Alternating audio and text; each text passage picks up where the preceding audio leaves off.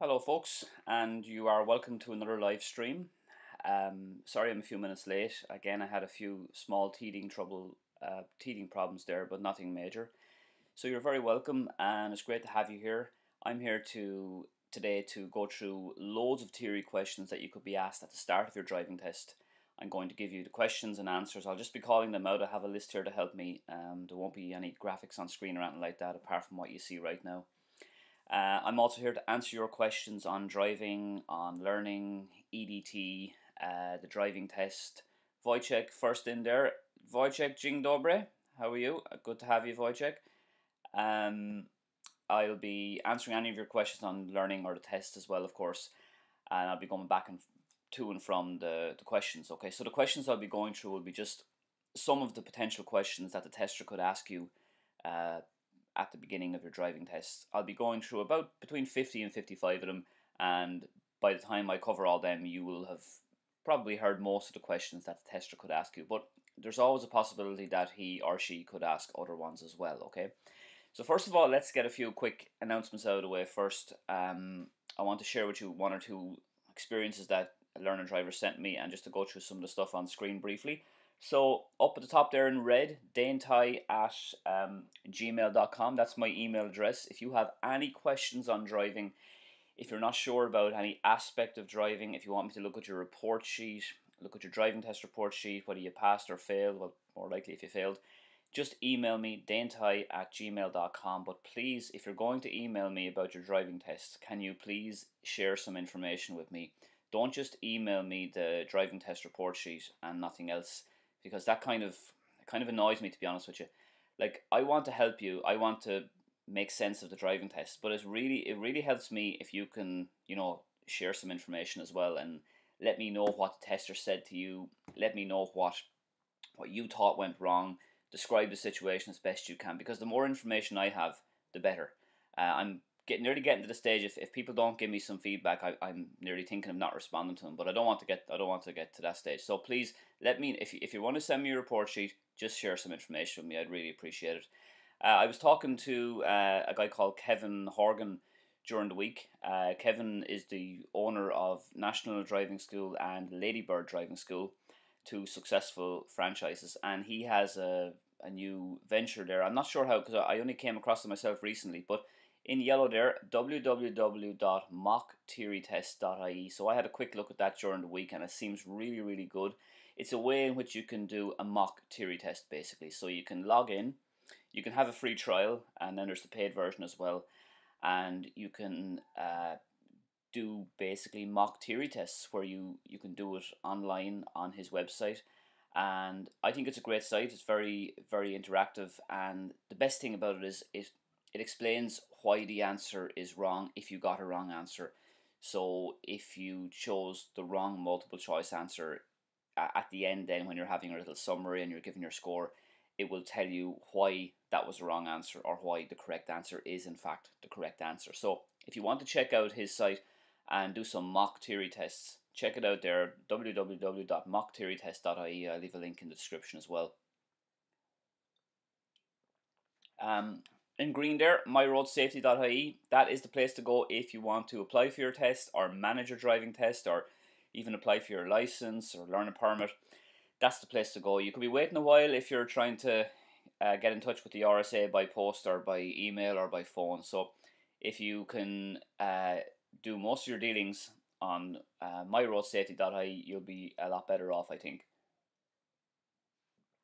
Um, NDLS, that's the uh, National Driver Licensing Service. Great website, regularly updated, very professionally laid out. Any questions about driving licenses or learner permits, or if you want to check your uh, the status of your learner permit, you, there's there's an expiry calculator on that. Uh, so some great information there. You can apply there as well to book your learner permit, to, to book your like interview for your learner permit, if you know what I mean, where you'll get your photo taken and all that stuff, or, or your if you want to book your slot to apply for your full license. So ndls.ie for, for licensing queries there, okay? PayPal symbol as well there. Uh, if you want to make a voluntary donation by PayPal, you can do so. I leave a link in the description. Uh, it's completely up to you. You, you can people donate 5 10 15 20 more sometimes less um, i will answer your questions regardless of whether you donate or not. I will go through your driving test report sheet in great detail whether you donate or not. It's completely voluntary, completely up to you, and thank you in advance for any support. Okay, so I'm going to be getting on to the questions now very soon. The most common questions that you'll get asked in your driving test, so you can be prepared, so you know what to expect. Okay, so I'll be getting to those now very soon. Let's get a few some comments uh, flooding in there. So let's get a few comments done first. Uh, we, we saw Wojciech there, Vic, Vitor Ferreira Souza. There's a great South American Latin name anyway. Hello to you too. Rena Bijan, me. Yes, it is you, Rena. Thank you. And you're welcome. Melvin, nothing there from Melvin. Rena Bijan again. Are you in Mauritius? No, I'm not in Mauritius. I'm about as far away from Mauritius as you can possibly be, I think. I am in a place called Ireland, believe it or not, uh, which is not England. Uh, it's up in the North Atlantic. So if you've any questions, Rena, just give me a give me an email. There, my email is on screen, danetoy at gmail.com. I actually I actually got an email from a guy in Mauritius actually during the week. That reminds me, he was he was wondering was it okay to use my videos on his website. Uh, so maybe that's where that comes from. Uh, obviously, I said yes. Uh, if, if, anybody that wants to share my videos, listen. I any if my videos are there for anybody who wants them, share away. I I'm not one of these people with a massive ego who has to charge for videos or you know wants permission or anything like that. So if you're a web designer or you're doing a website, just share away. It doesn't bother me. Um, my videos are there for everyone. Sean O'Sullivan, do you know when the Theory Test Centre will open again? Sean, that is a good question, old flower. The answer is no, I don't know. Uh, it's just not deemed an essential service for now. Um, so it could be, I don't know, it could be summer. But I know, Sean, on that as well, they, there are plans uh, very soon, maybe by the summer, if we're lucky, that the theory test will go online, so you won't have to go into test centres, theory test centres, very soon. So that's the plan. Um, I haven't heard much on that. Like the RSA are not going to tell us, they're not going to tell me anything. I, we usually find out find out about these things through the media. So uh, I'm not hundred percent sure, but I know there's plans to to bring the theory test online. Um, but because it's not an essential service, there's been a bit of uncertainty when it's going to be back up and running again. But hopefully soon, hopefully by May or June anyway, with a bit of luck. Um, Megan Beelan then, hi Dan, been watching your videos for months past yesterday. Brilliant. Congratulations, Megan Beelan. That's that's wonderful. And you know, you'll always remember that day. I remember the day when I passed my test as well. You'll never forget that feeling. And well done to you, Megan. Uh, Mel C then before I get to some questions here because I'll be able to find that Mel C's comment there with all those lovely uh, sparkler things. Thank you so much for your videos. They helped me pass my test the other day. I'll be donating to your PayPal. Mel C, thank you very much. You're, you're very kind. And well done on passing. Great job. I might have guided you in the right direction, but you did the work. You did the test, okay? So, anyway, folks, at the start of your driving test, the tester is uh, going to be asking you some theory questions and road signs. Now, you mustn't get too worried or stressed about this. It's not a big part of the test it is good to get them all right. It is it is good to get most of them right at least. Like it does set you off on the right track, and it shows that you've been preparing. It shows that you're confident, and it shows that you've done a bit of you, you've done your groundwork. Let's say, but it's not the be all and end all. If you if you get all the questions wrong, or all the signs wrong, or some wrong, or some signs wrong, it, it doesn't mean you're going to fail your test. Okay, yes, you're going to lose a mark. You lose a one grade two mark is the most you'll lose. So don't worry if you get a few wrong. It's no big deal. Okay. Now, I have a sheet here just to help me so I don't forget. First question, anyway. When can you overtake on the left? Okay. Now, generally, you don't overtake on the left, but you can in certain situations. So, if the car in front is turning right, and if it's a wide road, you could then overtake on the left if you're going straight ahead, or even if you're turning left up ahead. Uh, you could also overtake on the left on dual carriageways and motorways if they're in kind of slower moving traffic and you could overtake on the left as well on a one-way street where the traffic in the right lane is moving slower than the traffic in the left lane. You could also potentially overtake on the left in the case of roadworks or if a guard instructs you to or kind of an you know in an emergency situation um, like that. Okay. So the next one then what do we have here? What does a broken white line in the center of the road mean? A broken white line. So that just means you know keep left of the broken white line but you can cross it if it's safe to do so. You, you can um, overtake, but only if it's safe to do so, and only if there's no oncoming cars, and as long as you don't put anyone at risk. But if it's a broken broken white line, you can cross um, but not a continuous white line. Okay.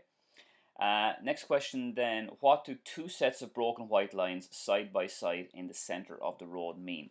So that's like, it's a broken white line, but you have twin sets like that, kind of dotted up along the road. So again, you, you can cross this if it's safe, but only if it's safe to do so. It means that you're going to have one or more continuous um, white lines up ahead, okay? So if you see two sets of broken white lines in the road, um, one or two continuous white, one or two continuous white lines ahead, only cross if it's safe to do so um, in that situation. Okay, so just to just to come back here for a sec, um, Melvin has donated there. Thank you very much for your donation, Melvin. I'll get down to you in the comments there now in a, in a moment, but I really appreciate that bit of super chat there. Anyway, folks, let's move on to the next question then. Okay, I'm going to get about maybe nine or ten questions done, and then I'm going to kind of jump back to the comments and a few other interesting uh, stuff I heard from my subscribers about their experiences doing the driving test. One very interesting one about uh, a guy who was looking for a refund actually for who who, who uh, whose test was cancelled. I'll get to that in about five minutes. Just want to get eight or nine questions done first. Okay, so next question then. Um, here, we are. So if there are two sets of white lines in the middle of the road, okay? Uh, one broken and one continuous. Which one do you obey? So you've got two sets of white lines in the road. One can be continuous and one is kind of like, you know, dotted or broken. And they're beside each other, side by side. You have to obey the one that's closest to you, okay? That's the general rule in driving. Obey the line closest to you, whether it's on your side or whether it's horizontally in front of you. So if the broken white line is closest to your your right side, um, you could cross if it's safe to do so, um, but don't cross if the continuous one is closer to you. Okay, so let's see what the next question is here then. Um, what road markings would you see entering a one-way street from the no entry side? Okay, so if you're if you're entering a one-way street from the no entry side, you're going to see a continuous line closest to you, continuous solid line, and then the broken white line then, and, and that kind of ties in with the previous question. You'd always obey the line closest to you and you'll probably see the words no entry as well. Okay? Let's go on to the next question then. Um, where are we here? Number number six is it? Uh, yeah number six here on my sheet anyway what does a white triangle painted on the road mean so you, you're going to see these everywhere you're going to see them at come up to roundabouts or come up to, to T-junctions sometimes so a white triangle painted on the road means you have to yield okay now, it doesn't necessarily mean yield to the right only, it means yield to those who have right of way. So yield to anybody on the right or anybody who's on the major road or anybody already turning, okay? It basically means yield or give way. Very often, well, you're going to be driving over the, the point of the triangle, okay? Unless you're going the wrong way, which is not ideal. So you're going to be driving over the point of the triangle. So uh, a white triangle painted on the road just means yield, okay? Now, next question and number seven. Um, if you saw a series of white or yellow uh, horizontal lines with a continuous white or yellow line around them, what does that mean? So these are like lines that are kind of like chevron lines like that. Um, I, I don't even know if that makes sense anyway, but so you're gonna it's like they're like chevron lines. You're gonna have continuous. They're kind of like um, horizontal lines going across, and they're surrounded by um, a solid white line. They're basically called hatched lines, okay? Hatched lines. You're not allowed to cross them. Um, generally, they're, they're white if they're in the middle of the road, but they could be yellow if they're on the side of the road. You're meant to treat them like an island. Um, so uh, don't drive on them. Don't stop on them unless it's an absolute emergency and you have no choice. Uh, there might be some exceptions maybe for a right turn, but generally don't uh, cross or drive on those um, at, at any time. Uh, next question then, where are we? What does a broken yellow line on the left mean? So the broken yellow line on the left or a dotted yellow line on the left means that you are looking basically at the edge of the road. So you're not allowed, you're not, you're, well, you are allowed to go in there in certain situations, but it, it just means the start of the hard shoulder and it's marking out the edge of the road. Now, generally, the, the hard shoulder is used for cyclists, um, pedestrians, maybe slow vehicles as well if it's safe. Um, you, you could stop on the hard shoulder, like if you're broken down maybe in an emergency or something like that. Okay. Now, if it's a solid yellow line on the left, you might find that on a motorway, for example. So you're not allowed to cross or stop or park there unless the guard tells you to do so or unless it's an emergency. Okay, so let's see. Are we on to number 10 there now? Um, yes, we're on to number 10 now. Okay, and then I'm going to share a few little bits with you and get a few comments done. So, number 10 here on my list what does a white zigzag line mean? And the yellow zigzag. We'll do the two of them, the white and the yellow. So, the white zigzag lines, you'll see them coming up to pedestrian crossings basically.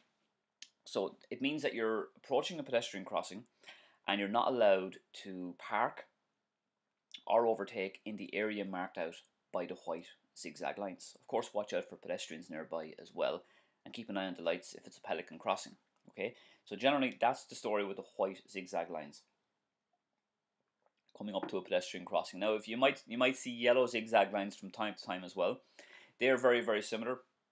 There may be a little more flexibility with them, but uh, yellow zigzag lines, the same thing, no parking, uh, no overtaking in the areas marked out. It means the yellow zigzag lines are more likely to be outside, like a school, a fire station, maybe a hospital, maybe an order of place, that, that those kind of things, you know. And, and there should be a sign nearby giving more detail on when you are allowed park or not allowed park where the yellow zigzag lines are. Okay, so that's our first 10 questions done there, and we'll do another 10 in a minute. Now, I want to share, I'm going to get to the comments in a second here, folks. Um, but I wanted to share something with you. Where was it here now? Um, I had a question during the week from uh, from a learner driver who was asking about the passenger window. She basically said, uh, "Dan, if the passenger window on my car is stuck down, will the test be allowed to go ahead?" And the answer is probably not, because uh, your passenger window has to be working in has to be in good working order basically, especially during these COVID times. Because if the tester feels that um, that there's a problem with the passenger window, that it might get stuck up or get stuck down, I mean that's not good for health and safety reasons. You know, especially during this COVID times when ventilation is so important. So my advice to you out there, folks, is if your car is a bit iffy in any way, whether it's the passenger window or the wipers are a bit dodgy or you know your brake lights are not working, listen, either get it either get it fixed or use your driving instructor's car or use another car that you're legally able to drive and insured on. Okay, because to answer your questions, the question is simple. If the passenger window is not working properly, at the very very least, it's going to be a problem potentially. Okay, and at the worst, there'll be no test, and you may have to reapply and pay again. Okay, uh, it's very important that the tester feels that there's no health and safety issue. So passenger windows, make sure they're working, make sure they're in good working order, okay? Um, I got an email from another learner driver there. He was in touch with me over the kind of on and off over a few weeks. Basically, a slightly unusual situation, but he was doing his test. Uh, he turned up for his test, everything was fine. He showed his permit, he did the technical checks, all that stuff. As he went out to drive out the test centre, anyway, the tester decided he was going to cancel the test. Now, the reason for this is because it was a little bit dark. So, this is going back in December when the evenings are very dark. Because, as you know, like it, it can get dark from as early as four, half three, four o'clock here. But the tester felt it was a health and safety issue, that it was too dark, and he decided to cancel the test anyway, and he brought him back. And the learning driver was a bit puzzled, a bit confused, as, as you'd expect, but he accepted the decision anyway. But the unfortunate thing was the learning driver had already paid for a lesson and the the rental of the car. So he sent an email then to me asking me would there be any chance of getting a refund on this from the RSA. I said I doubt it, but it's worth a try. You can you can try it if you want. But I wasn't very hopeful to be honest with you. But anyway, to cut a long story short, he got his he got his refund. He got the full 130 euro back from the RSA that he paid, and I'm delighted to hear that. Uh, so he he wanted to share that with me, and I'm sharing it with you now. If you think if your test gets cancelled for what you think is an unusual reason and you're out of pocket, then what you need to do is you need to get a receipt from your driving instructor to say that you know you paid for this lesson or you paid for the car rental, and then show that receipt to the RSA. And although it took this guy about six weeks or whatever, two two months anyway, to, to get his refund, he got it, and I'm delighted he got uh, he got some justice. So just I wanted to share that with you, just in case uh, you you might be in a similar situation in the future. Okay then, um, and then another slightly unusual one again. I mean, this, the great thing about doing these live streams and reaching out to you folks is that I I learn myself all the time because you know, so, certain driving instructors would have the biggest egos you will ever see in your life. They think they know everything. Uh, luckily, I don't fall into that category. I'm always uh, thinking I learned something new, and I learned so much from you guys sharing your experiences with me. But this this is probably a well, I won't say it's a new one. I I, I probably suspected this was happening, but a learner driver didn't know that he had to do his theory test.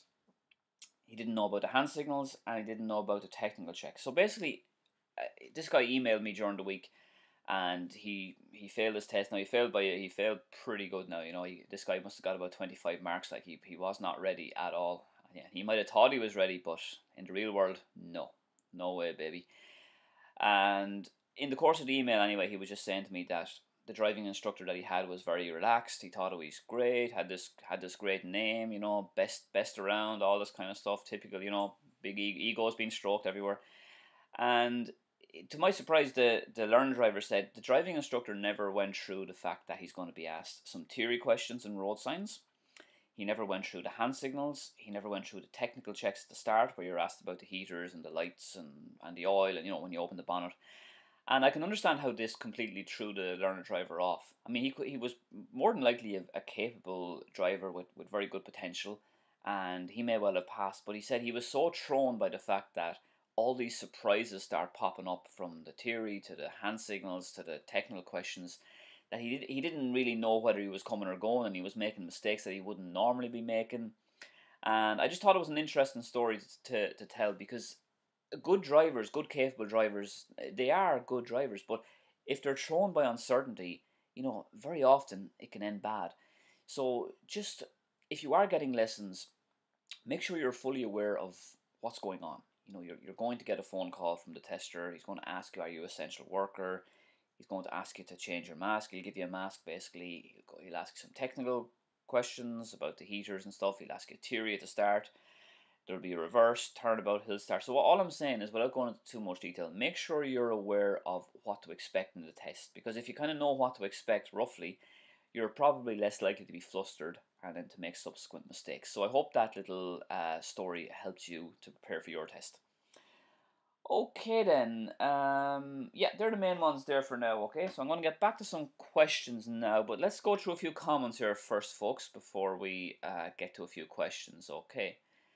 Um, so Rena is there, she is. I'm not sure what you are, Rena, but thanks for tuning in anyway. Um, Dennis Sherry again. Hi Dane, can I ask about turning right or left where a curb is? Is it important to keep a little bit out before making the turn? Learner drivers tend to follow the curve. I read. Learner learner drivers tend to follow the curve. I read and can clip it. You see, this is one of those things, Dennis, where experience is is, the key thing. So if you're taking um, a, a left, I suppose is, is the best way to describe it because the curb is on your left end. I always feel that generally speaking, if, if you're on the flat or going downhill, you need to be kind of not able to see the curb out the front because if you can't see the curb, then it should be safe to turn.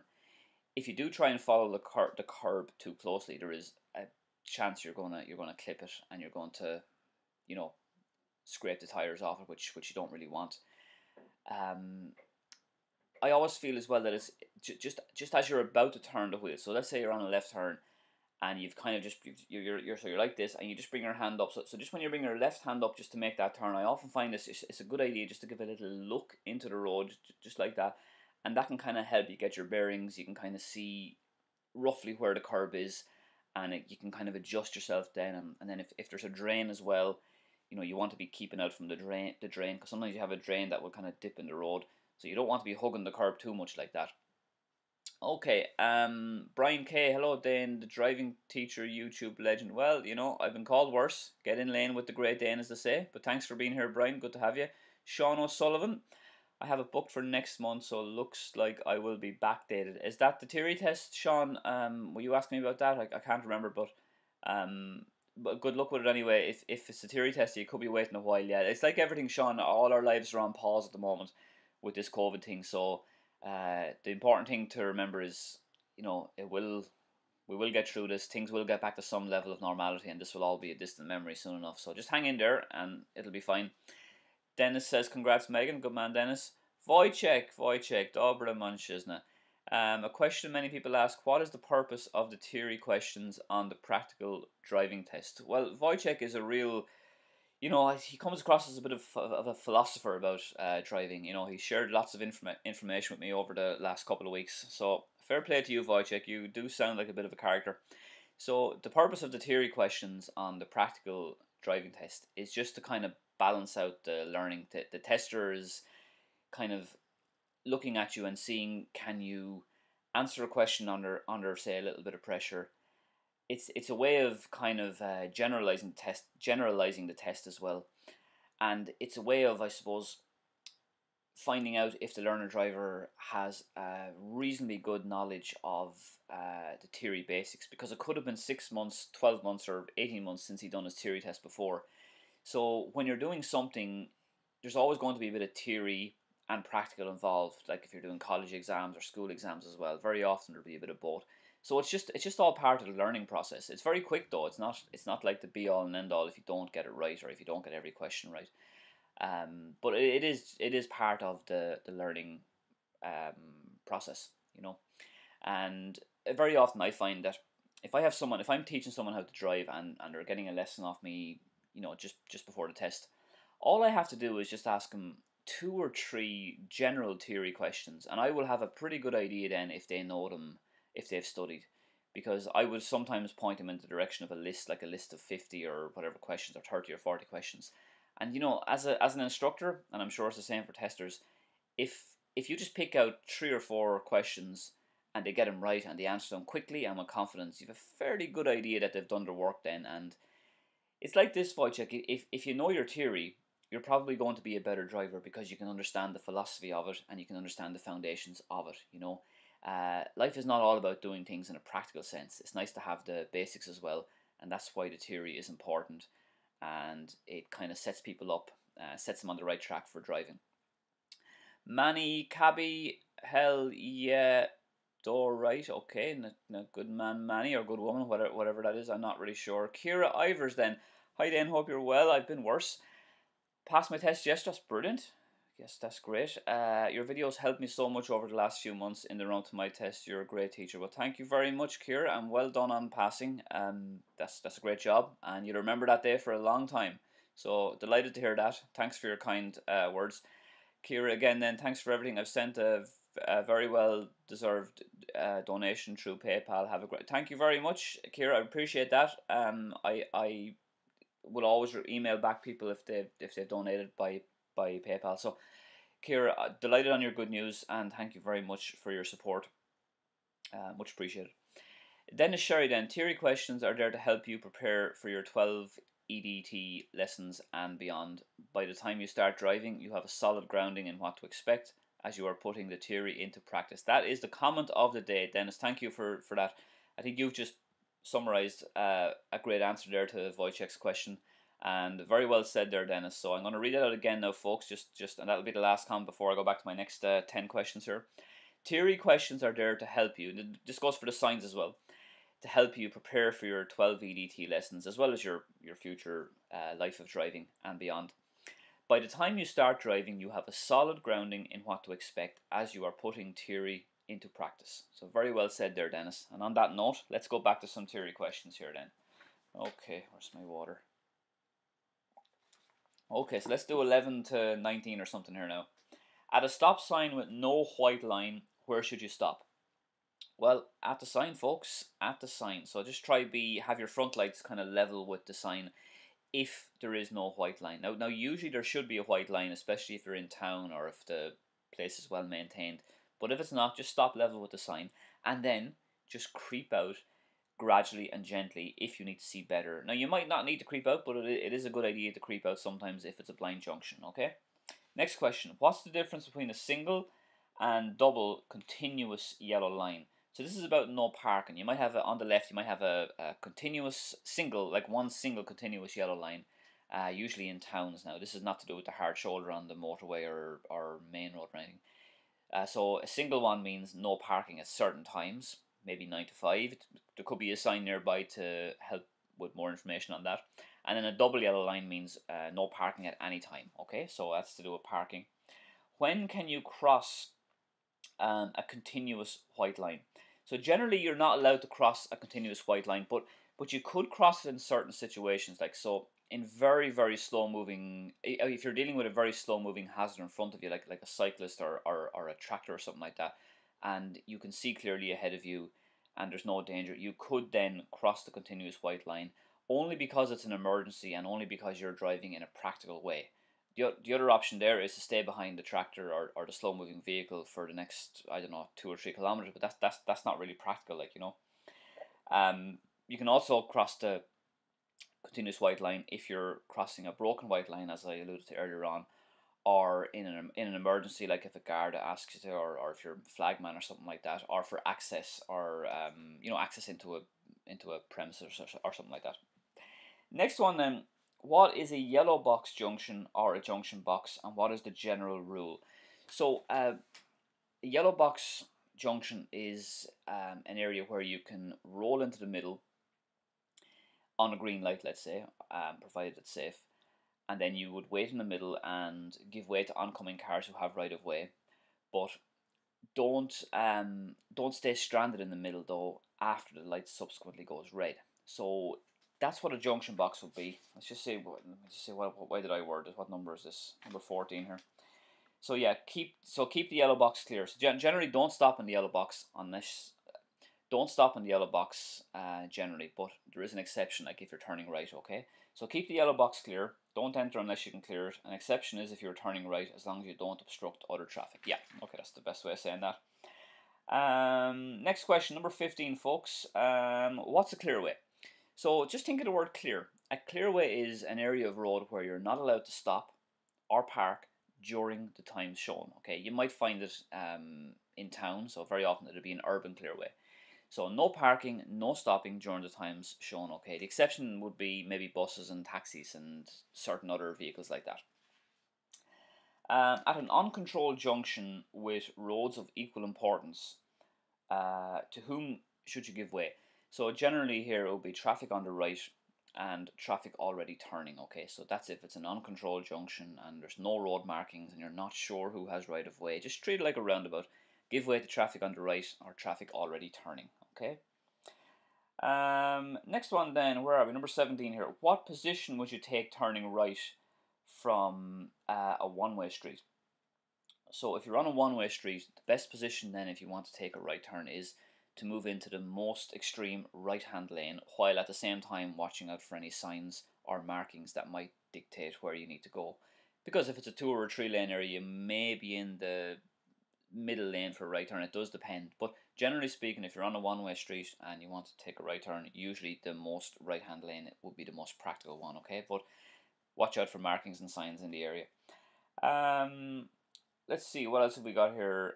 Uh, what position? Sorry, yes, number 18 how would you take a right a right turn? Um, how would you take a right turn from from a main road into a minor road? So you would generally uh, in this situation follow the MSMM. So mirrors, uh, signal, check your mirrors again. You might need to give a little quick glance over the shoulder just if you're changing lanes or going into a filter lane. Now that might not always be necessary, but check your mirrors indicate, double check the mirrors move over to, to a right of center position in your lane kind of gradually. Uh, you know, get down the gears, keep the gear changes nice and smooth. You could go down one by one, or maybe you might be better off just skipping from four to second or whatever. Um, give way to traffic that has right of way. Uh, proceed then with a with a bit of juice because you know if, if you're on a main road, you want to get off it fairly lively. You don't want to be dragging across the road.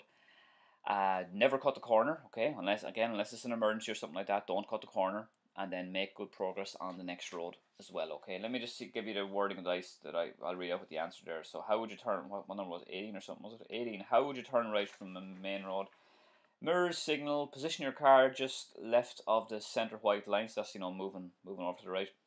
Get down the gear smoothly. Take the turn when a safe gap occurs. Never cut the corner and yield to people and cyclists. Yes, I forgot to say that. Watch out for people and cyclists as well that could be nearby. Remember, folks, pedestrians, they're not the brightest sparks on the old bonfire. They can do unpredictable things, so keep your eyes peeled. Okay, let's see what else we have here. Number 18, that was. So, number 19 then. Um, when would you use your fog lights?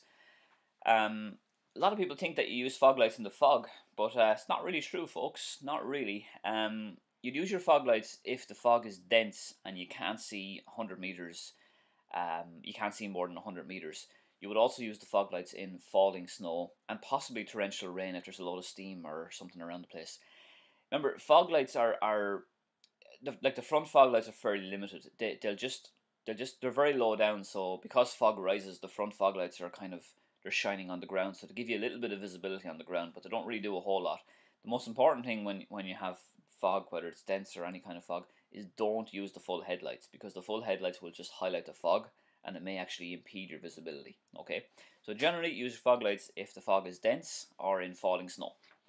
And number 20 here then, so we're just nearly halfway through the, the common questions here. Number 20, when would you uh, when would you use your hazard warning lights? So generally in an emergency if you're involved in an accident if you're at the scene of an accident um, if your car is getting towed or you could you could use your hazard warning lights if you're going to slow down kind of sharply up ahead and you want to warn the driver behind you that there's a sudden slowdown coming up um, but yeah, anytime where it's uh, where you're where you're causing an obstruction or you are you're maybe in the middle of an obstruction, it's good to use the hazard lights. Just tells the people behind you that you're you know that something is going on up ahead. Okay, so that is number twenty then, and we'll be coming back to that the rest of those questions very very very soon.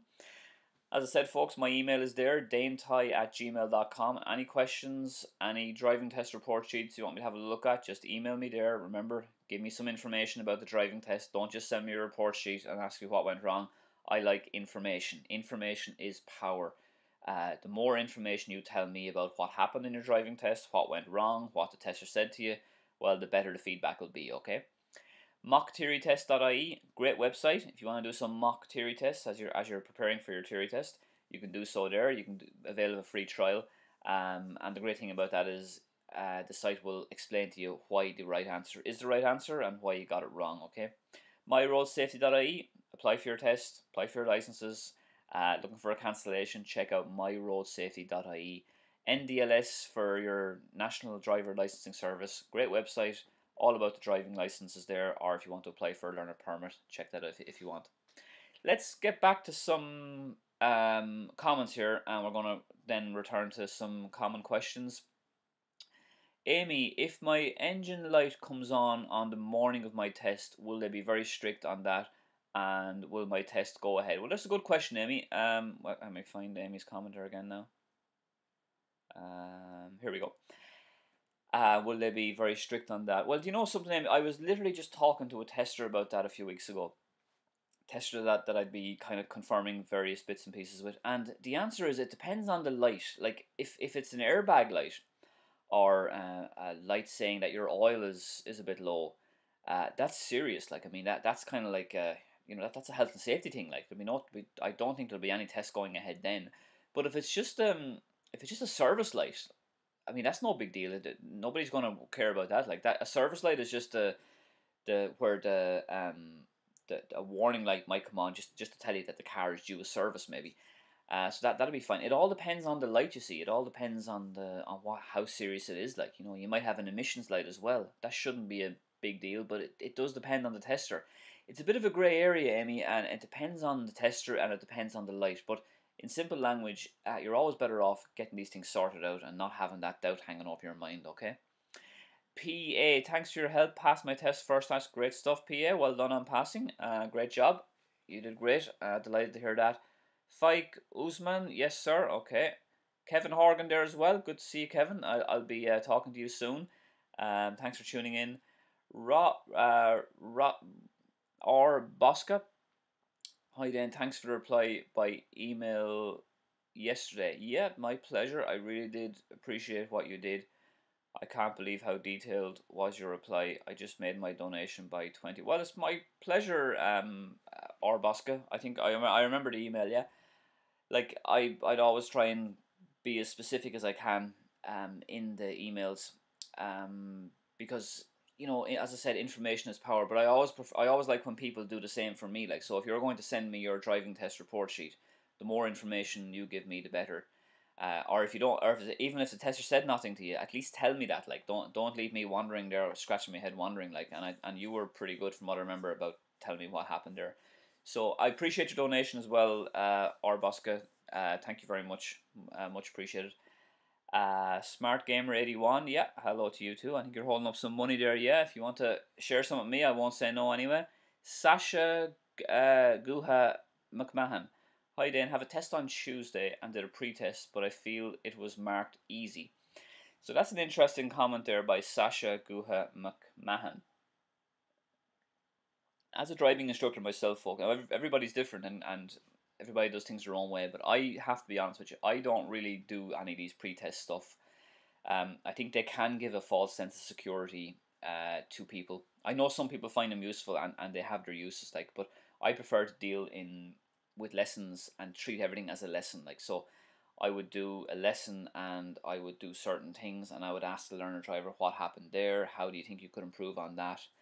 Rather than just sitting there uh, for half an hour writing a few bits down and telling the person where to go, because sometimes in in, in a pre-test if you're doing it with your instructor, it's it, it just seems easier because the atmosphere is more relaxed. It's a lot different when you have the real test, you know. So I try and uh, avoid pre-tests as much as I can and just constantly deal with uh, specific mistakes, specific weaknesses, and I'm always asking the learner driver what did they think or how did they feel that went or how could you do that better, and then we might do it again and again. So, like for example, on a pre-test, if you mess up a reverse around the corner, you pretty much get one shot at it, and then we go.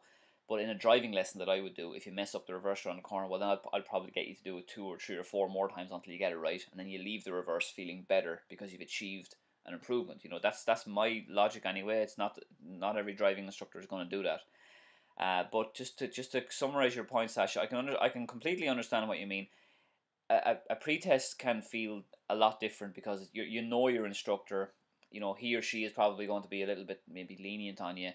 And anyway, everybody's perception is different. The driving test is going to be completely different. The atmosphere, the feel of it is going to be very very different. So just anything anytime you do a pre-test and you and you get a, a pass or you think it went well, just take it with a very very large pinch of salt because it is very much just a mock test and it's very often just not comparison with the real thing. Okay. Okay, so we'll come back there to those comments in a second. Let's get a few more questions done then, folks.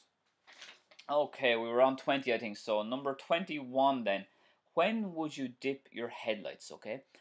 So let's say you have your full headlights on. You would you would dip them like if you had your full headlights on, you would dip them if you're meeting oncoming traffic or if you're following oncoming traffic or if you're in fog or um, it, basically to avoid inconveniencing other um, road users. Okay, if you're meeting pedestrians, meeting cyclists, that kind of stuff, maybe coming to a junction as well. Okay, let me just give you the answer, to make sure I'm not missing nothing there. So number twenty one. Um, so when meeting or following traffic in a well sorry in a well area, I forgot about that. Sorry, in a well area in snow, heavy rain, fog, and at dawn and dusk as well. Yeah, okay. Um, I was probably answering a slightly different question. You you would use your dipped headlights then. Um, you would use them in those areas that, that I mentioned there as well. So where there's fading light, like dawn and dusk, um, bad weather, like you know fog. You would use your dipped use your dipped headlights in fog, rain, mist and you would use them at night as well, of course. And um, you know, it's always good to use your dipped headlights um, 24 hours, like all day anyway, because it just makes you more visible um, to other road users. Next question then, um, if you're dazzled by the lights of an oncoming car, what would you do? Well, if you're dazzled by the lights, don't look directly at the lights. Look towards the left verge a little bit and use your peripheral vision to guide you. And if you need to, just slow down and stop. Okay. Uh, next one then. When why would you use your horn and what restrictions are there in relation to the use of the horn? So generally you would not use your horn in a built up area between 11:30 um, at night and 7 in the morning unless it's some kind of an emergency. Generally the horn is just there as, as an emergency to warn other people of your presence. For example, if they haven't seen you uh, in an emergency situation like that. So let me just let me just give you the official answer there. Uh, number twenty three. Um, it's used to warn other road users of danger and to make them aware of your presence when needed for safety reasons. As I said, it's not to be used between eleven thirty and seven a.m. in built up areas unless an emergency. Okay. So let's see our next common theory question then that the tester might ask you. Um, let's have a look. Um, how would you know a zebra crossing at night? Now, you generally know a zebra crossing at night from the flashing amber beacons on the on the crossing on the kind of the, the poles, let's say. But you might also know know it by the sign that comes before it, because very often the sign is going to be reflected if it's there. Or you may have kind of reflective studs, kind of like cat's eyes on the road. But uh, hopefully, by the flashing amber beacons will be the main way you would know those as well. Um, what does an island in the center of a pedestrian crossing mean? So this means that both crossings are separate, so it kind of divides it into two. So if you have an island in the middle, it just kind of divides the crossing into two, and each one is separate. Okay, and the pedestrian might wait on the island um, if needs be to wait for a safe opportunity to cross. Um, what does a flashing amber light mean? So a flashing amber light means you can go, but but only if it only if there's no pedestrians. If it's a flashing um, circular light, I mean. So you can proceed, but only if there's no pedestrians. Give way to pedestrians. Um, what does an amber light mean? Just just a straight amber light at traffic lights. Stop unless you're too close to stop safely. Okay, so if you come into a set of traffic lights and it's green, just watch out because you know green is it could it could change to amber very easily. Uh, so be prepared to stop, but at the same time don't be too slow. And if it does go amber, you should stop, but that's only if you can stop safely don't stop where, where it means slamming on the brakes and doing it in a dangerous way. Okay. Um, next question. What does a green arrow light mean, or a filter light? So that means you can go in the direction of the light. So if you have a green arrow light pointing um, left, you can go left even if the red light is on. Okay, so you can go in that direction. Um, what does a flashing amber arrow light mean? So a flashing amber arrow light means you can go in that direction, but only if it's safe and only if there's no cars or no no vehicles coming on the adjoining road. So just be careful with the difference between a flashing amber and a, a green filter light. Okay, the, the, you have to be a lot more careful at the well, you have to be careful at them all, but you be extra careful at the flashing amber arrow light because that just means pretty much the same as a yield sign. So just watch out for other cars that are on the adjoining road or maybe on the right. Okay. So um, next one then, number 30 is it? Uh, number 30, what's the sequence of traffic lights? Let's go down for a second. So the sequence of traffic lights, I always think of the word of the name Gary, G-A-R-Y, okay? So a G for green, um, A for amber, um, and R for red, okay? So the, the lights will go, you might have the lights green, then it will go from, um, go to amber, sorry, and then red and then it might it might then subsequently go back to green or it might go to flashing amber okay? So that will be the sequence of lights green amber and then red okay? And it possibly might go to flashing amber after red. It does depend on the if it's a pelican crossing or if it's just a standard set of traffic lights okay? Okay folks i'll be getting I'm, I'm coming back to more questions now very very soon. Let's get a few more comments in there now. Where was i where did i stop? Um i saw sasha wasn't it about the mock test, yeah. I think that was it. Okay, Prince Prince Fola, please, if you are dazzled by oncoming vehicle, what do you do? Secondly, if you're dazzled by a vehicle from behind, what do you do? Well, I've answered the first one, but I'll answer it again for you, Prince Fola. What a great name. Um, if you're dazzled by an on, by the lights of an oncoming car, um, don't look directly at the lights. Look towards the left verge of the road.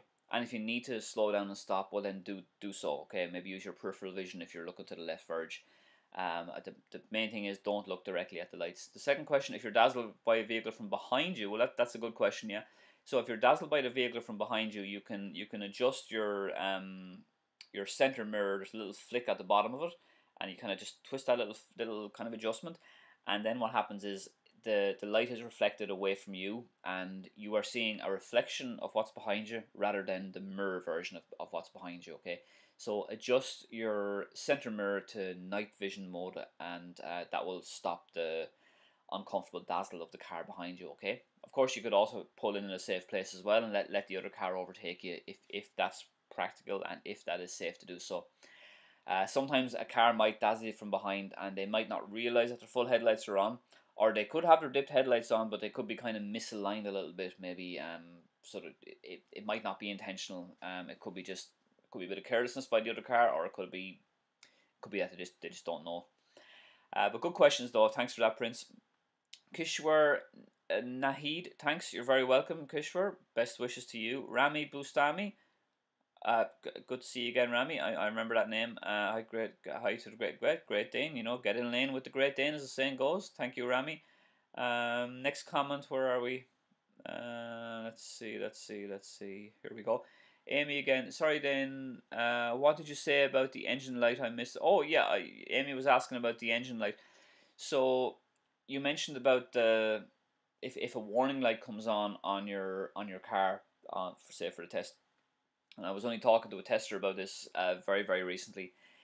The war like it's never a good it's never good to have a warning light on the dashboard, okay? But it does depend on what light is on. So if it's um if it's just a service light, for example, that the car is just reminding you to get your car serviced, that's no big deal. I mean, that should be absolutely no problem. It's it's just it's just a bit of information that the car's uh, technology is sharing with you. But if the engine light is about an oil shortage or if the engine light is about there's an airbag malfunction or something like that, the airbag isn't working, well then I don't think there'll be any test then. So it does depend on what light is on, you know. It might be an emissions light, that should be okay as well, but it depends on the light and to a certain extent it can depend on the tester as well because there's no like like there's no guidebook, there's no there's no rules rule book that they have ever told us like like it's a very good question, Amy, but the, honest answer is like the RSA who run the driving test, they they don't tell us anything. Like I am, I would have to go and seek out testers to get this information because they they tell you nothing. They won't answer the phones. They won't respond to emails. Getting information out of the RSA is like trying to get blood out of a turnip. It's it's it's next to impossible. So the best I can do there is answer that for you in that way. That what the tester said to me there recently. Um, it depends on the light, uh, but you know, you should always make sure that there's no, um, you know, diagnostic lights on your car, and then you'll have that peace of mind then that uh, everything will be okay. Okay, so best wishes to you, Amy, and just email me, danetyghe at gmail.com if you want any more questions answered, okay? Let's get a few more comments done then, folks, and uh, we'll be finishing up maybe in 15 minutes or so, and I'm going to get the rest of the questions done as well. So, Sarah93, hi Dan, hope you're well. If a person wanted to become a driving instructor, how does one go about applying, starting uh, that process? Watching the rugby later, I sure am watching the rugby. Although the, the Italian match is not not not generally the top match I, I always look forward to. Um, Sarah, that reminds me of a great podcast that Kevin Horgan had up um, on the Anchor app actually. So if you if you were to download on the Play Store or wherever you download your stuff. Download Anchor app, A N C H O R, and just type in then uh, how to become a driving instructor Ireland. Kevin Horgan, who's who owns Ladybird Driving School, goes through that in in lots of detail. If you want to email me, I, I can email you the link actually. Um, but if you want to become a driving instructor, there, there's three stages. There, you have to do the theory test first and then you have to do the, the practical driving test, which is a longer driving test and it involves a lot more than your standard driving test. And then there's a stage three, then, which is a instructional ability test, like a communications test. And that's basically how, how it is. But if you were to if you were to Google that, you, I'm sure you'll find plenty of information, even on the RSA website as well, rsa.ie. Uh, I'm sure you'll find lots there. But uh, I think that podcast would be good. So so download the Anchor app and search how to become a driving instructor Ireland uh, by Kevin Horgan, and you'll you'll get a good step by step guide for that. Um, Wojciech then. Uh, so a learner told that their instructor hadn't taught them about some test topics. Unfortunately, I've already heard about some instructors who do that on purpose and teach correctly only after failed uh, the test to make more money. Yeah, there would. I mean, the, there's. I, I'd like to think people are good people, Wojciech, but there are going there are unscrupulous people out there, and uh, unfortunately, you'll you'll get that in all in all walks of life. Yeah, so definitely on, on definitely not not desirable. But thanks for sharing that anyway. Dennis Sherry, that's shocking, Wojciech. The instructors are deliberately not preparing their pupils for the test just to get more money out of them for extra tuition after I hope someone reports them. I don't know how widespread it is now, folks. I mean, I'm I'm pretty sure most driving instructors are are good people and to do things the right way. So um, I'd say they would be the exceptions rather than, rather than the rule. But anyway, the customer is always king. They can you know easily if they want to report um, misbehavior like that, or they can change instructors anyway. AR, good afternoon. Good afternoon to you. Any rules for independent driving? Yeah, lots of rules. AR, it's called the rules of the road. Um, I do some independent driving with people uh, if if I have time or if if they're at the required standard, where I would just um, ask them to go to a certain destination, and I would allow them just to just to make their own way to that destination, and you know take their own route. Um, but yeah, that's like I, I'm not really sure what you mean by any rules for independent driving. I, I'm not like um I, I don't know what you're asking there, but if, if you want to be more specific with me and ask me a better question, I'll, I'll, I'll be happy to answer it. Um, let's see, another comment there then, and I'm going to get some questions done here, folks. Um, Joe's, Joe's Imon ND, hi then, you are really a godsend, pardon, person, I suppose, for me, because your videos help me a lot pass uh, through the driving test. Okay, I'm not a big fan of all that text speak, but I'm going to give you the benefit of the doubt just in case English is not your first language.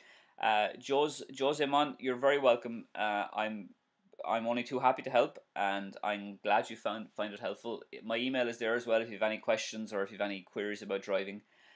Um, but it looks like you've passed your test. If I can just decipher your um, language here, it looks like you've passed your test. So obviously you're a very good driver, and that's brilliant news and congratulations uh, to you and thanks for commenting. So we'll come back to the next few comments there now, folks. I mean, let's get some questions done here first, anyway. So we're over halfway through the questions here, um, and I'm going to try and get the majority of the most common questions done here now and a few little extra technical ones as well. Okay, so let's let's get on with it here then. Um, number thirty one here at traffic lights where the lights are not working, who has right of way? So this is like the crossroads that's unmarked. Traffic on the right or traffic already turning would have right of way in that situation if if the lights are malfunctioning. Um, what do two flashing red lights mean at a level, level crossing? Well, it means stop because there's a train coming, okay? So if you see two flashing red lights side by side, watch out, there's a train coming. So stop at the line. I'm sure I'm sure that you'll be well signposted for that anyway. What is the legal parking distance from the curb? Half a meter is ideal there, folks. Half a meter. It could be maybe 48, 12 inches, 13 inches, or 48 centimeters. But half a meter would be ideal. How close to a junction and a pedestrian crossing can you park? Well, 5 meters from a junction and 15 meters from a pedestrian crossing would be the general rule there. Um, where should you not park then is the next question, number 35.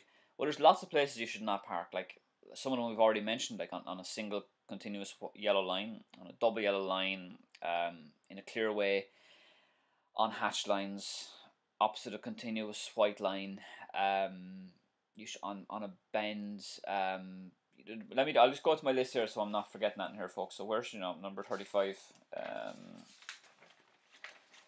so let's see. You don't park on a corner, bend, brow of a hill, or humpback bridge where there's a sharp dip in the road, anywhere that blocks the view of a school warden. Don't park in a disabled space unless you have a permit.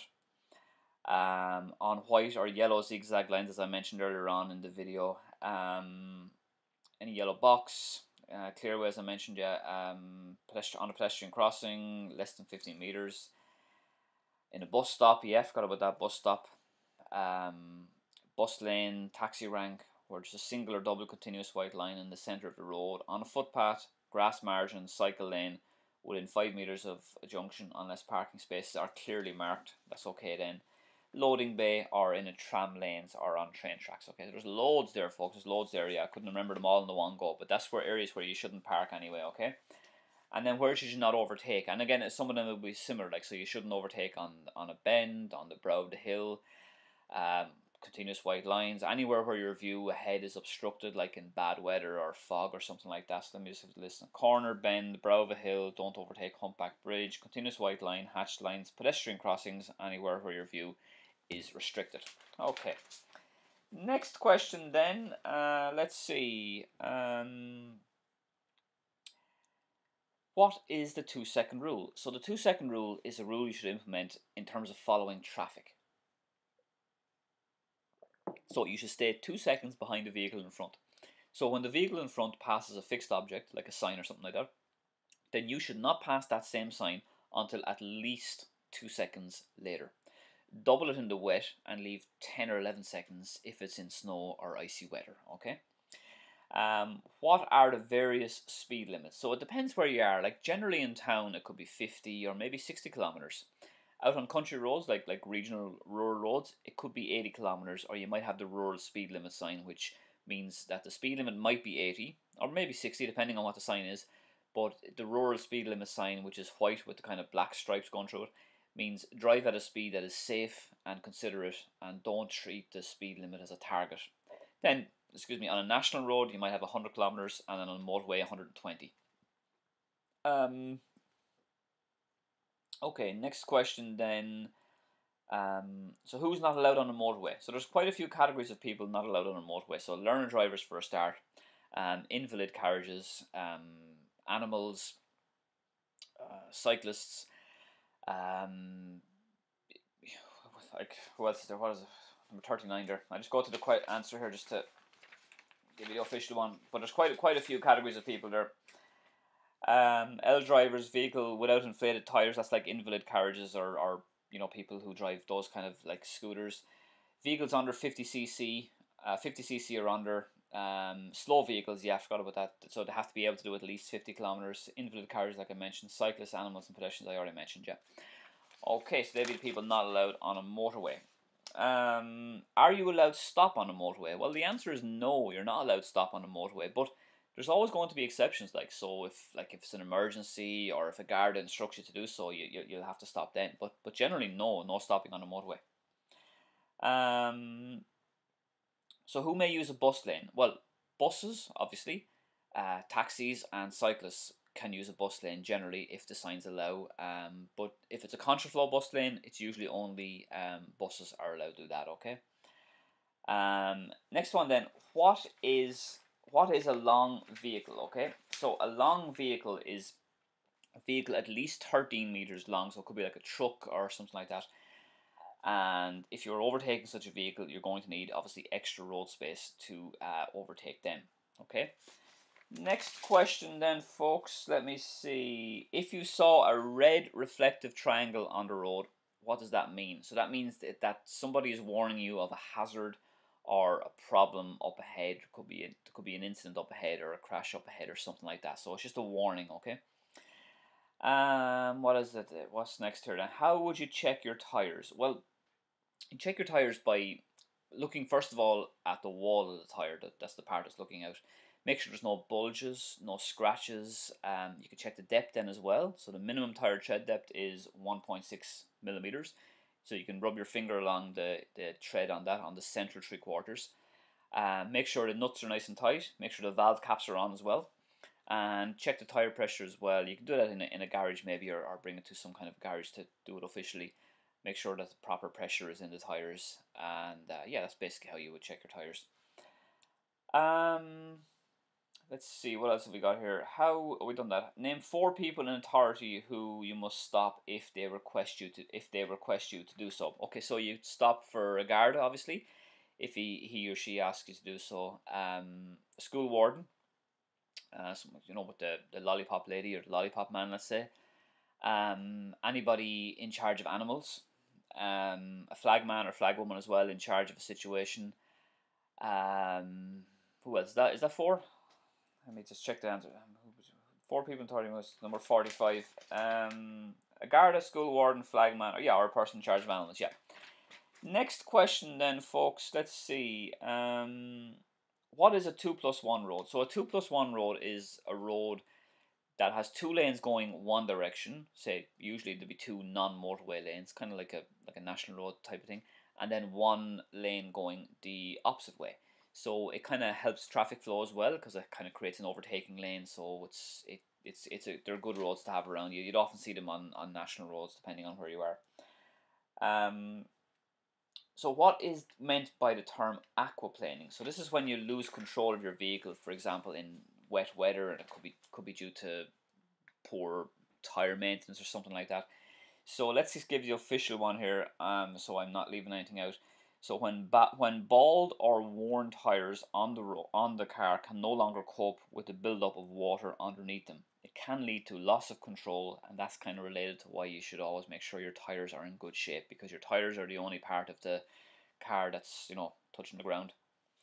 Okay, just getting towards the home straight on the questions here, folks. Uh, how do you reverse safely? Okay, so first thing to reverse safely is uh, look all around. Make sure you're constantly checking all around. Don't just look in the mirrors.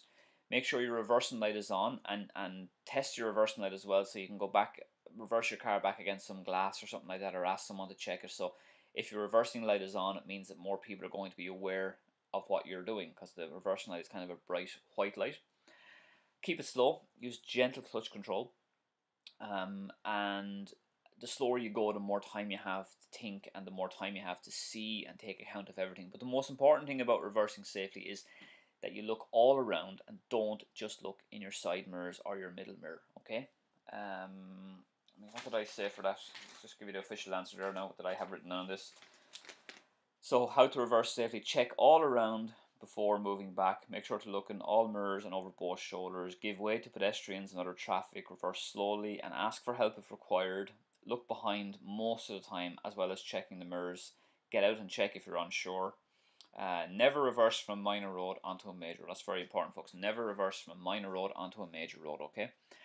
Next question then, before we get to a few comments and finish up. Um, what is, what was that question? Uh, coasting, I think, is it? What is coasting? So coasting is driving in neutral or it is driving with the clutch pressed in fully. It can lead to a loss of control because the engine's ability to do natural engine braking is negated. So coasting should be kept to a minimum. For example, when you're stopping or changing gear is fine. Uh, but you shouldn't be coasting downhill with the clutch pressed in fully or in neutral because you don't have as much control. The car can go faster and you could end up losing control or maybe braking too harshly. Okay. Um, okay, I still have a few more technical questions to go, folks. Um, just a few, but I want to get some comments first here. Let's see. Um, okay, Josman, I think I said that then. Yeah, we got his comment. Lionel Nundlovu. Dennis, I agree with you. Instructors are thieves. Well, it depends which one you're talking about. Um, Noah Thomas again. Hi, Dan. Excuse me. Sorry, I get that Noah's comment back there. Any idea when lessons are coming back? Um, I don't. I don't know to be honest with you. Uh, it could be April, possibly, but I'm not really sure because it depends on how the virus is under control. But possibly April, possibly. Um, I, I honestly I don't know. We we just have to keep an eye on the news, keep an eye on the on the you know on, on how the restrictions are going and how the virus is going. But let's hope to be back in April. Dennis is talking about his instructor in Sligo. Uh, I'd say it's tiny, but absolutely, Dennis is a tiny percentage. Most of them are absolutely fine and, and very professional. I'm, I'm sure, um, honest and good people. That's that's very true, Dennis. Uh, Peter Connolly, hi Dan. I got two grade twos for anticipation in my test. What kind of mistakes would be an example of a grade two anticipation. You see, it's it's all about the definition of anticipation there, Peter. Like the tester is probably saying that you're not looking ahead more. So let's say, for example, you see a person walking ahead of you, and they do this. You know, they, they kind of just glance over their shoulder. It means that they might be thinking about crossing the road, or they might be thinking about going towards the pedestrian crossing. So you need to anticipate this and stop and let him cross if it's practical, if it's safe to do so, if you're able to. Maybe you might you might notice that um, a car is just parked on the left, for example. So you could possibly anticipate then that that car might be straightening up. Maybe might be, might be kind of doing a bit of maneuvering as he's trying to park, or maybe that the door might open up, open, and, and you know you might have to come out a bit to give him a door length. Uh, a dog on a leash, maybe, who sees another dog across the road, might get a bit excited, might might kind of pull the might kind of go towards the other other dog across the road as you're driving down. So you anticipating things like that is going to look well on you. So it's it's all about planning ahead there, Peter. You know, it's it's about not looking in your mirrors too much. Your mirrors are grand. Your mirrors are great. You know, if you're if you're changing direction or if or if you're changing lanes or something like that, mirrors are very important. But if you're driving along a road, it's, it's, it's, it's so important to be thinking what's ahead of you. You know, like what's what, what's that what's that car doing up there? Like that car has his brake lights on. That means he might be slowing down. So I have to slow down now. You know, it's it's all about looking ahead more so than what's behind you. A donation there. Thank you very much. Who gave me a few bob there? Um, I someone get Ar, Ar, Armans is it? Armans I think yeah. Thank you very much Armans for that. I am sure I'll get down to your comment there in a second or I'll get down to it. But really appreciate that. 12 euros sorry 12 dollars actually. Uh, thank you. Much appreciated. Shiloh Shiloh or Shiloh Shiloh. My test was cancelled because of my ABS light was on. I'm not surprised there Shiloh. It was a good question by um that person earlier on Amy was it or something I, I, I might be forgetting the name sorry um, so if your ABS light is on, that means that there's a problem with your ABS braking system.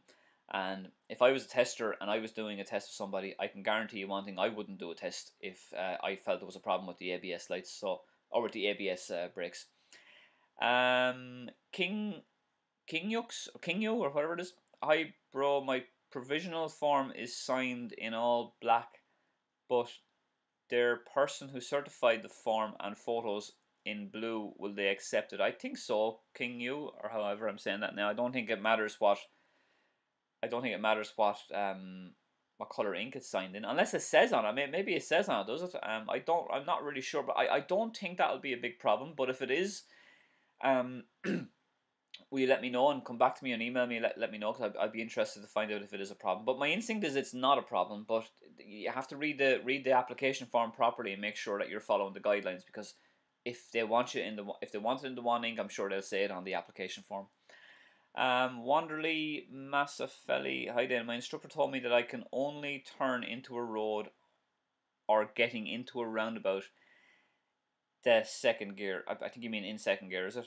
Never third or above. Is there any exceptions? Yes, there's there's of course there's exceptions. There, the, uh, this kind of nonsense about oh you can only do this in second gear or third is is is just completely incorrect. There's always exceptions. I, I often tell people that generally speaking, second gear is the best, is definitely the best gear to do roundabouts or junctions in or something like that. But there may be a, a few small exceptions whereby it looks better if you do the roundabout in third gear because the roundabout is nice and big and open and it could be very quiet and there's nice wide lanes and you've got a clear view. You don't have to go all the way down to second gear then. You, you just you just don't. Uh, it, it, it doesn't have to be so like rigid that way. Generally, second gear is the best, but there, there will always be exceptions where you could do certain things in third gear. That much I can promise you. Rachel passed my test after three times in Dublin. That's brilliant. Uh, on Thursday, thanks to these videos. My pleasure. Got 8 grade 2, so you just about got it, but still you got it, and that's the main thing. The tester and the tester, but your videos really helped me to not get the marks on observation. That's brilliant news, Rachel, and delighted to hear that. So well, well done to you. Um, Harry Meehan, passed first time on Wednesday. Brilliant. Your vids helped a lot. Cheers. You're very welcome, Harry. Great job on passing and delighted to hear that. Uh, King King you again. I have sent two photos. Uh, also uh, with a birth certificate and national insurance number. Is that enough ID?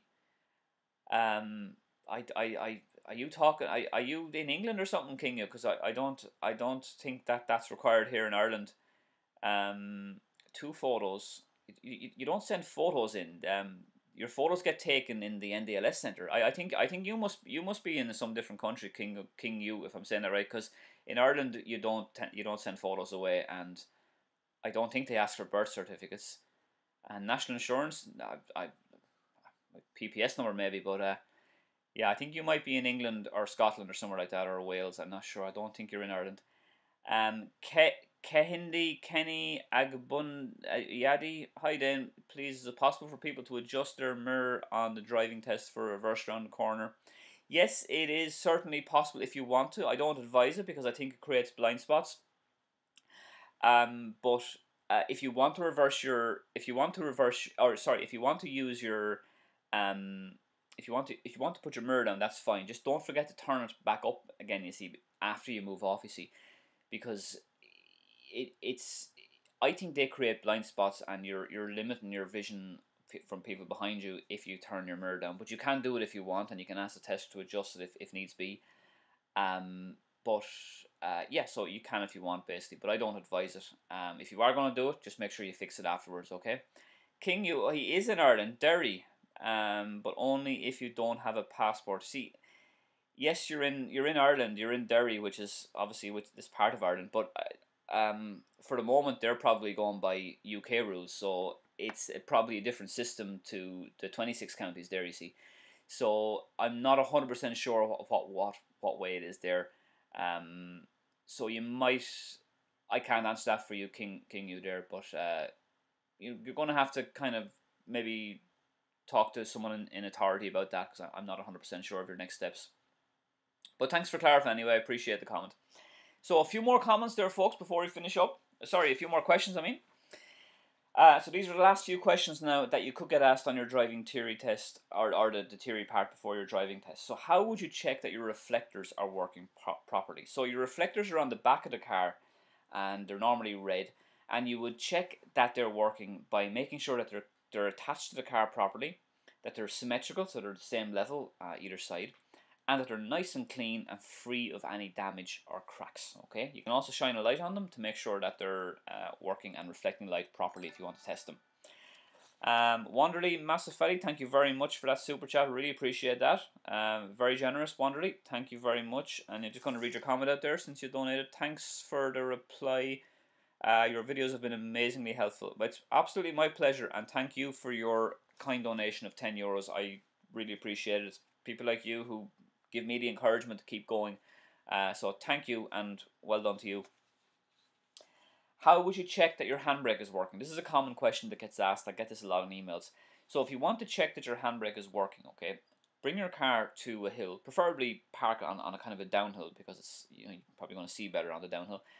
Uh, so park your car um, somewhere safely, pull up the handbrake, um, and as you pull up the handbrake, just you know make sure that, it feels okay, that there's no rattling noise or that, that it doesn't shake or there's nothing unusual about it, and then put the car into um, neutral. Because when it's in neutral, you're going to be able to test it better. Because if you leave the car in gear, it's going to be you're not going to really get a feel for it. Then release the foot brake, and then the car should hold then perfectly fine on the hill when you have the handbrake up and in neutral gear without the help of the foot brake. Then you can put your foot on the foot brake again then, just for safety, and let the handbrake down. And make sure that the button presses in okay, that it's not stiff, that it's not rattly, it's not shaky, anything like that, that there's nothing unusual or odd about your handbrake and how it feels okay. But basically that's how you check it, that it should hold on the hill then that way. Um, what do green what does a green reflector post mean on the side of the road? So this this is to highlight that the road or that a turn off is there. Uh, it's very helpful at night because it reflects at night, so you know that there's, there's turn off there at night time then and it shines up. Same with the green reflective studs on the road, you might see those little kind of cat's eyes, uh, just to tell you that, that there's a turn off there at night. Um, another question then, um, how would you check that your steering is working properly? So yeah, you would you could check your steering by when you turn on your engine, turn on the ignition, um, move the wheel left and right, and it should move freely. It should move without any stiffness. Uh, there should be no rattling or vibrations or shaking or anything like that. You could also go to a nice open area as well, a safe, open, quiet car park, for example, and just drive the car in a straight line and just make sure that the car doesn't pull to the left or pull to the right because it could be an issue with wheel alignment or wheel balance then if that's the case. Um, so that's how you would check your your um, steering in general. Okay. And they are the main questions then, folks. I think we've covered about 55 or 56 there. Um, and that will bring us to the end of this live stream. Now, I want to make sure I'm up to date on my uh, comments. Yeah, Wanderly there was the last one. And uh, we've, we've, we're up to date on that. So just, just to summarize then again, folks. Uh, any questions, any issues you have, anything you're unsure of, email me danetyghe at gmail.com. I'll get back to you the same day if I can uh, with a detailed response, and I'm happy to help you out with any questions you have. Uh, if you are emailing me, just give me some information about the test and why you failed or what the tester said to you. Mocktheorytest.ie there, great site there. Uh, you can do some mock theory tests. There's a paid version, but you can you can try it out for free as well, and it's a great way of preparing for the theory test when that eventually gets up and running. MyRoadSafety.ie for applying for your test, applying for your permit. It's the go-to place for all that. NDLS.ie for any license requirements. Okay. Uh, if you want to donate there to me uh, by making a voluntary donation, you can certainly do that, and I'm very appreciative of any help. And thanks to the people there, like Wanderly and all who who super chatted there uh, throughout the live stream. Really appreciate your help. A couple more comments there, folks. Before we finish, Wojciech, do you think that some people learn theory mostly from mock tests, not official rule book? and confuse some questions. I remember when I was waiting for my theory test, there was a guy who was also waiting for his theory test and was repeating some questions but was talking rubbish. Yeah, it's it, everyone's different, Wojciech. I don't know to be honest with you. I, I always think the best way to learn the theory test or the theory is to do tests like you see on, on mocktheorytest.ie or on the CD, you know, the PC CD-ROM because that's more realistic, as well as you know watching my videos maybe and reading the rules of the road book and that kind of stuff. But everybody learns their own way. See, everybody learns differently. Some people can read and read and read and it all goes in. Other people need a more interactive approach. It just it just depends on everything. Depend, depends on the person. Sorry. Dennis Sherry, thanks thanks Dennis. You've you've made some great comments today. Um, you sound like you're a rock of sense. Uh, thanks very much. Another great live show. You're very welcome, Dennis. I might be taking a bit of a break now, folks, for a few weeks because uh, I need to be focusing on other things. So this might be my last uh, video for a while, but I will be back um, soon. Like I mean, sometimes on this channel I might I might go away for a few weeks, a few months, but I will be back anyway, and I'll I'll update you more on that um, in the next week or so. But we'll leave it there, folks. Thanks for tuning in. Thanks for your comments. Thanks for sharing your experience because I learned from your, your experience as well. And um, it's been great spending the few hours here with you. Uh, congratulations to anybody that has passed the test. The best of luck to anybody who has a test coming up. And as always, folks, mind yourselves and stay safe. Thanks for watching. I'll see you soon.